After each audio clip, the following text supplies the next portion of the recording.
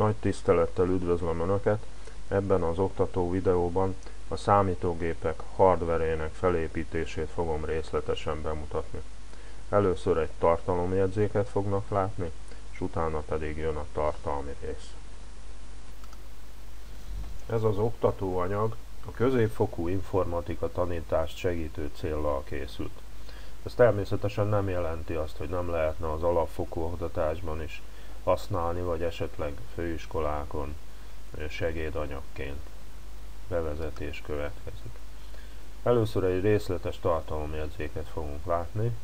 A bevezetés része, amely a tartalomjegyzéket és az architektúra fogalmának leírását tartalmazza, az 14 diából áll. A számítógép házakkal foglalkozó rész 8 diából áll, az alaplapokkal foglalkozó rész 10 diából, a processzorokkal foglalkozó 75 diából, lehet látni, hogy ez egy nagyon hangsúlyos rész. Ez először az alapismeretek tárgyalásával kezdődik, mely 11 diát tartalmaz. Az első generáció 3 dián van bemutatva, a második generáció 4 dián, a harmadik generáció 5 dián kerül bemutatásra. A negyedik generáció 6 dián került bemutatásra, az ötödik generáció 9 dián, a hatodik generáció szintén 9 dián, hetedik generáció 11 dián, és a ma legkorszerűbb 8. generáció 17 dián. Ezután egyéb rendszereszközökkel foglalkozunk 5 dián. A memóriákat 6 dia mutatja be, az adatátvitellel 25 dia foglalkozik. Először magát az interfészek fogalmát fogjuk meghatározni, ez négy dián kerül bemutatásra. Csatornarendszerű adatátvitel két dián kerül bemutatásra, sínrendszerű 7 dián, a adatátviteli rendszerek fejlődése 12 dián kerül elemzésre az input-output eszközöket, csatlakozókat bemutató rész 58 diát tartalmaz. Eznek az alapfogalmait 4 dia mutatja be, grafikus kártyákkal és videó gyorsító kártyákkal 11 dia foglalkozik. Az IO kártyák, amelyek a, a felelősek a input-output eszközök működtetésért, az 10 dia tartalmazza Sorosport bemutatását 3D-a jellemzi, ennek a fejlődése, következő állomás a SATA vezérlő 5 dián kerül bemutatásra USB csatlakozó, mely szintén ennek a továbbfejlesztett változata, tehát ő is soros csatlakozó 4 dián kerül bemutatásra, párhuzamos port 3 dián, géport 1 dián kerül megemlítésre. Hangkártyákkal 2 dián foglalkozok, a Firewall port a 3D-a foglalkozik, és az AT, illetve PS2 csatlakozókkal egy dia. A vezetékes interfészek összefoglaló jellemzését 4 dián láthatjuk. Végül itt az IO eszközöknek a, a együttes összefoglalóját két dia mutatja be. A vezeték nélkül interfészekkel 5 dia foglalkozik.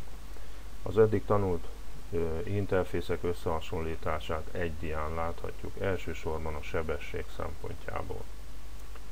Háttértárakkal 22 dia foglalkozik, ezen belül a mágneses elvű háttértárakkal 13.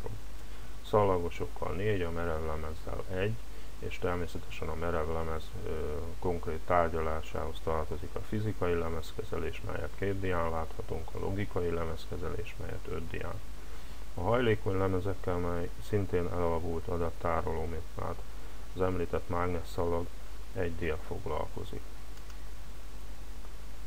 Optikai jelvű háttértárakat 6 dián láthatunk, ezek közül az első a CD-ROM 3 dián jelenik meg, a CD, CD meghajtó 1 dián, DVD, illetve DVD meghajtó 1 dián, és a Blu-ray lemez szintén egy dián látható. Elektromos elvű háttértárak közé tartozik az SSD, mely a merevlemez leváltására használható bizonyos számítógépekben, illetve nem csak leváltására, hanem együtt a a mozgó alkatrészeket tartalmazó merevlemezzel együtt szokták ma már alkalmazni. Két dián látható, illetve a pendrive, amely egy nagyon elterjedt adathordozó. A egyszerűsége, gyorsasága, kényelmessége miatt egy dián látható. A számítógép vezérlésével, vezérlési folyamataival, címzésekkel 9 dia foglalkozik, melyhez ismernünk kell a processzor utasításokat, amelyek nincsenek benne, elsősorban ebben a 9 diában csak a különböző címzési módokat láthatjuk. A tizedik fejezetben anyag és eszközismerettel fogunk foglalkozni, mely 6 diát tartalmaz, ezután elektronikai alapismereteket fogok bemutatni 11 diában, melynek részei az alapismeretek 4 diából áll, számítások, feladatok szintén 4 diából és példák, megoldott példák, elsősorban a, a Tinának, a sokak által ismert elektronikai szoftvernek a kisebb változatát, az Edison fogom használni ezen példák során. Ezután a számítógépek összeszerelésével foglalkozó rész következik 30 diában, ebből 27 dia a konkrét szerelési műveletekkel foglalkozik, és három pedig a három különböző gyártóval által előállított hibakódokkal vagy fügykódokkal.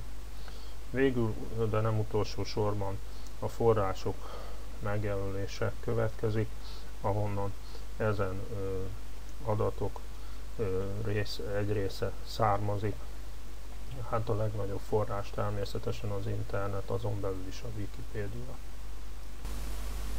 Összesen tehát 282 diában igyekszem önöknek bemutatni a számítógép felépítését, annak részeit,